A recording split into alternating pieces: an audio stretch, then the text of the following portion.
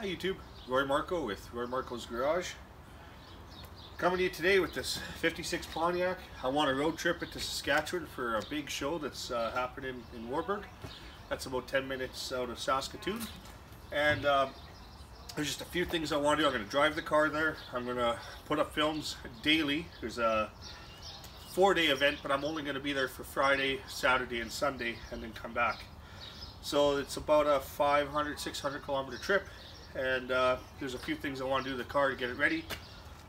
Uh, the wheel cylinder on this front corner is leaking, so I'm going to put in a new wheel cylinder. Thought about changing the rad hoses. I want to talk to you about this. this is kind of a neat. Uh, this is uh, out of a '94 Chevy truck, big block, and uh, if you cut this hose in two places, you get the upper and the lower for these inline sixes. So we'll do that. Get rid of those corrugated hoses. Got a set of spark plugs I want to throw in and then I want to replace all the valve stems. The wheels, these have been painted red, and I don't know how old they are, so I want to put in brand new valve stems just so that um, uh, just so that I don't have any issues with uh, hopefully the tires on the trip. And that's it. And we pack the front wheel bearings and uh, just go through everything. So let's get started and get it done. This car's wheel locks on it. They're not going back on.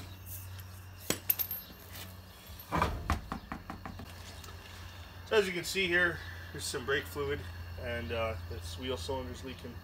So we're just going to change this one out.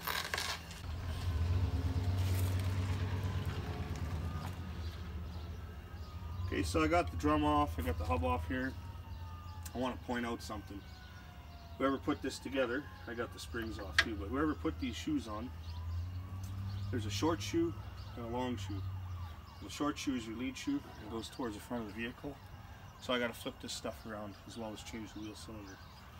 So I just want to get all of this off here for you and then we'll uh, clean everything up and I'll show you the process of putting this back together.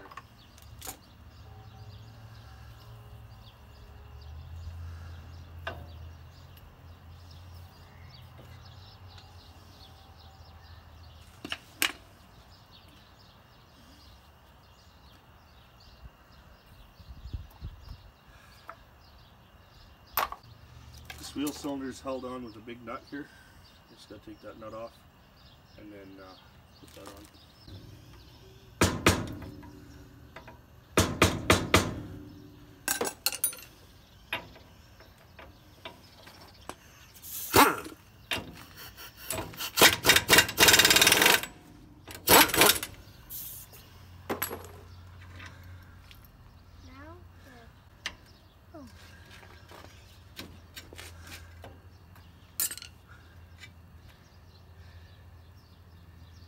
wheel cylinder off here.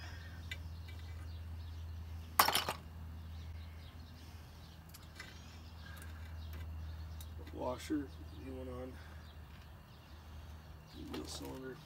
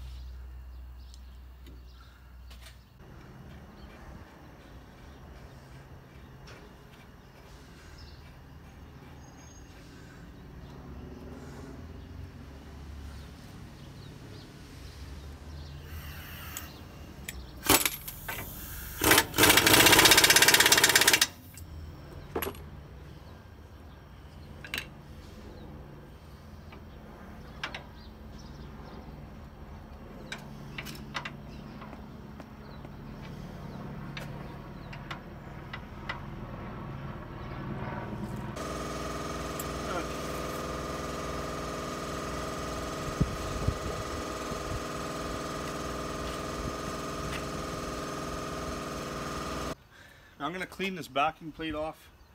I'm going to use uh, degreaser and hot water because uh, if I use Varsol on this, it's going to wreck the, the rubbers and components like that. So I'll move this tray and get some uh, degreaser out. What I'm gonna do, these shoes have to be cleaned as well. Uh, there's some brake uh, fluid on them. So I'm gonna wash them with degreaser as well. But I'm gonna hang them on here, might as well just get it done. So let me just, uh, I gotta switch this around and hang, and then I gotta switch out the adjuster. So let me just do that. Okay, so there's the adjuster set the right way. Uh, we'll get the, uh, the nails and the springs. This goes on here.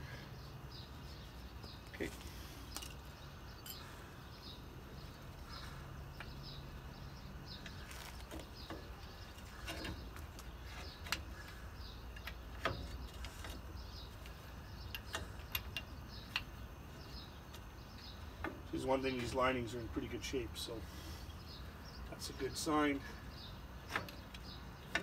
I don't know if I'm going to keep this car with drum brakes, so I didn't want to invest too much into this. But uh,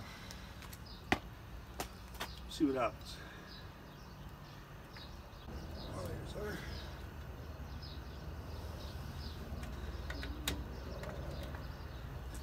Side.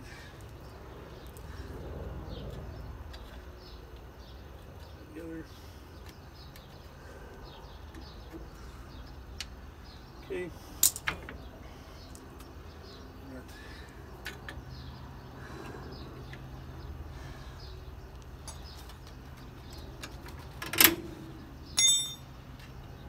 One thing about doing uh, brakes, if you don't have a tool like this, you'll be here all day.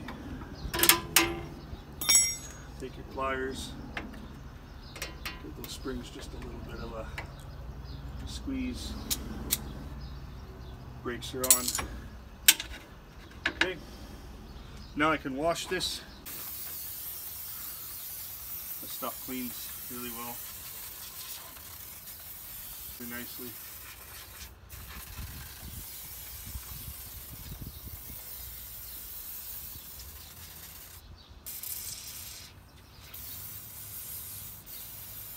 Okay, so here we are cleaning up the uh, wheel bearings and hubs. I got stuff separated. This is the one side, this is the other parts.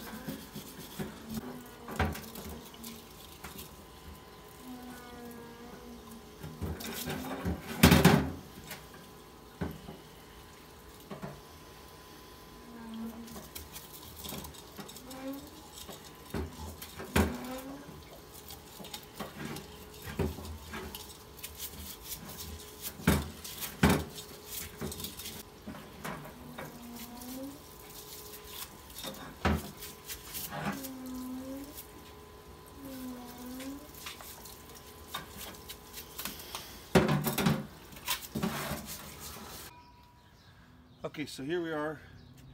Got the new wheel cylinder, linings on, drums clean, everything, all the oil and brake fluid has been cleaned off. I got the uh, wheel bearings all cleaned, There's no grease left. I didn't buy new seals, I'm just gonna work around this, get this on, and uh, I gotta grease it up. So I'm gonna get, uh, I got the grease here, just gotta get the inner race. Okay, very important when you get all this together to uh, make sure everything's really clean on the on the bearings. You don't want any dirt in the bearings.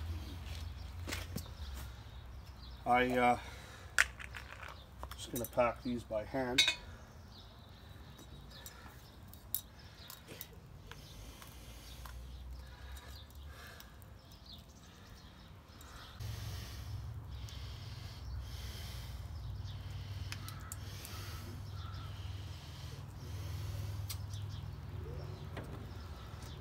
On. These are just ball bearings. They're not the um, your typical uh, tapered bearing. Let's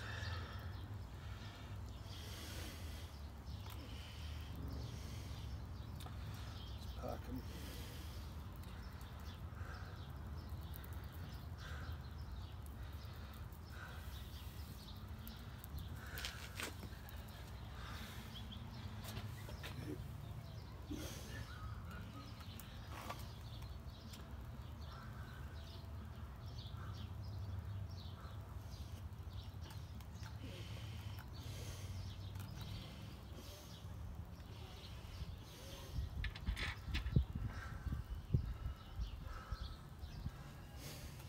Washer and your castle nut.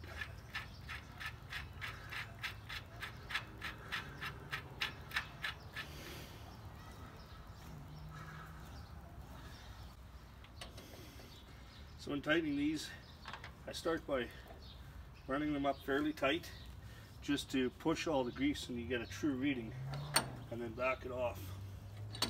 It's almost basically just finger tight. These ball bearings don't require a lot of load on them. You load, you got no end play. You line up your nut with the closest. That'd be a little bit too much.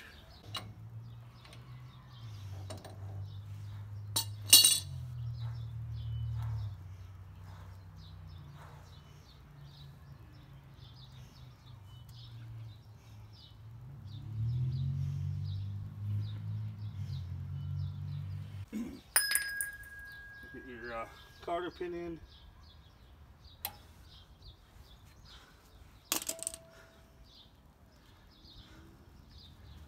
It over.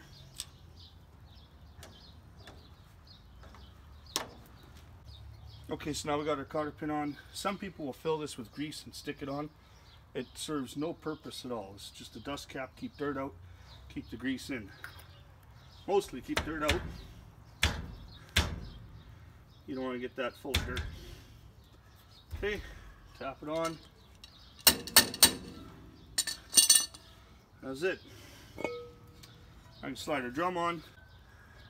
Line up with that.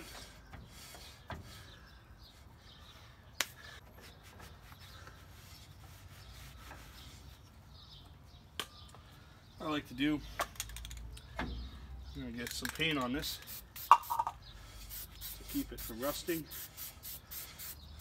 And so it looks nice with the Matador red wheels on here. And uh,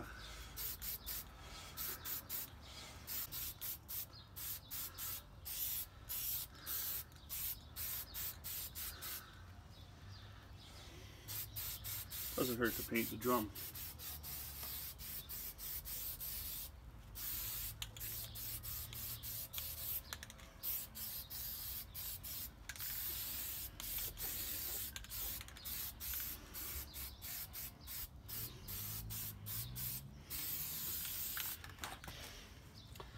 Okay.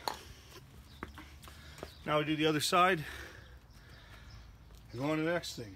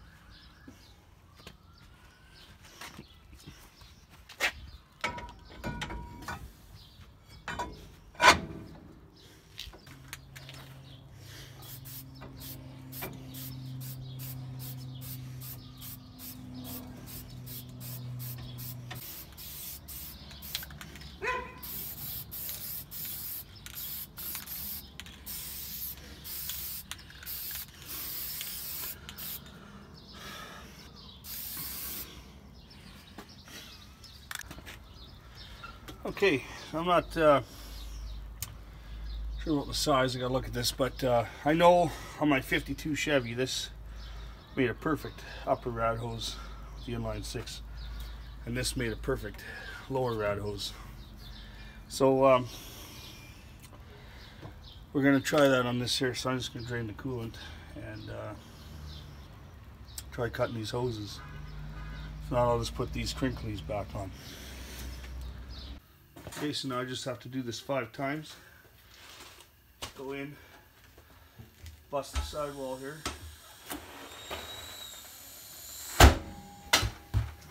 And then change that valve uh, stem.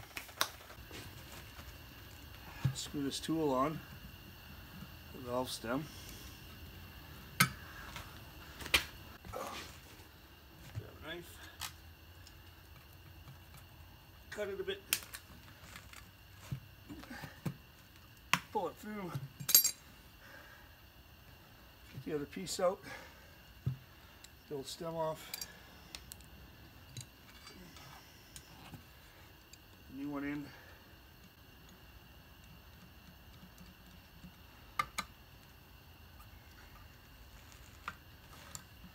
Pull it through.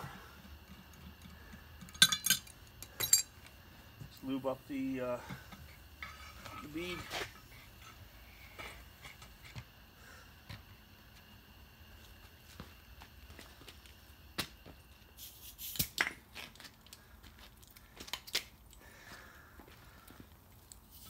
Back up.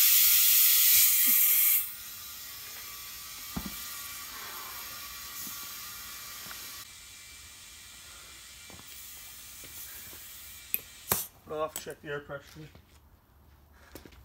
Take the tire gauge, check. Oh, 15 pounds.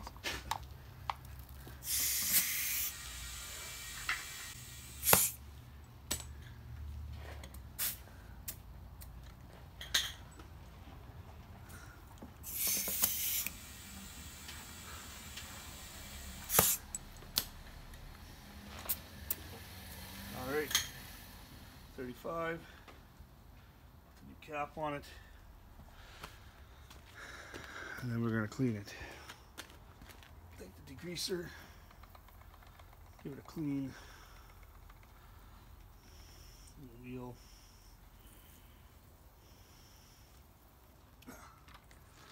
Backside.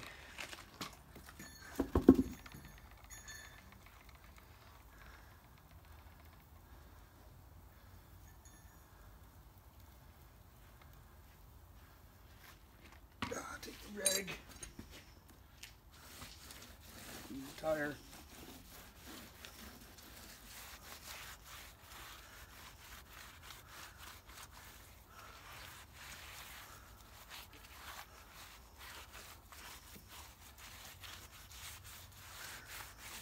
The inside of the rim.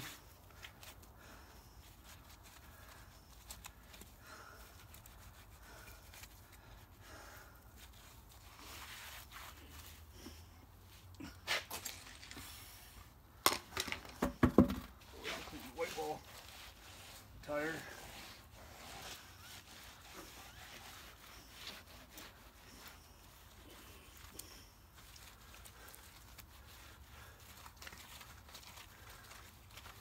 Alright. And rinse it.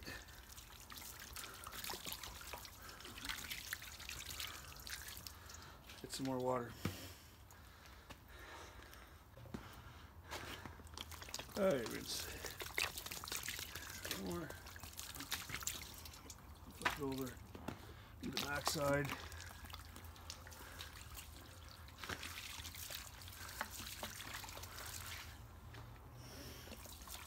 Again.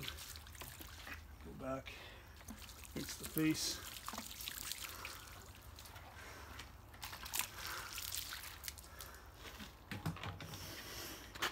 One clean wheel and tire, new valve stem. Right hit the road, I'm gonna put on the car. Sorry guys, getting dark here. Working late. Trying to get this done.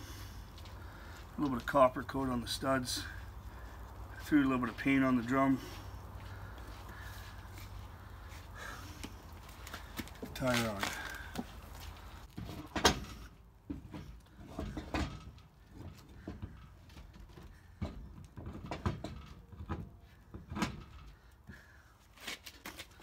Five new wheel nuts here.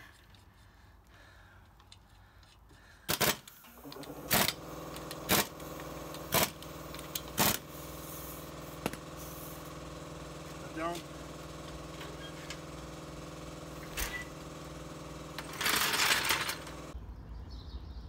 Okay, uh, so it's next morning, so I'll show you.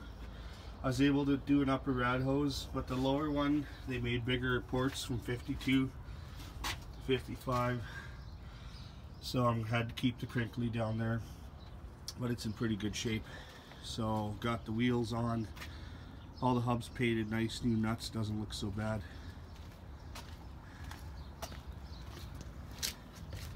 all four side corners. I mean, I did the uh, painted the center drums there. You saw the video. It was pretty dark last night. Got done pretty late.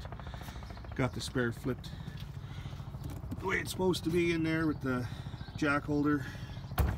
So unfortunately, the white wall's on this side, but that's okay. Got everything packed. Some tools, clothes, extra water, a little bit extra fuel. I'm gonna make this trip other side.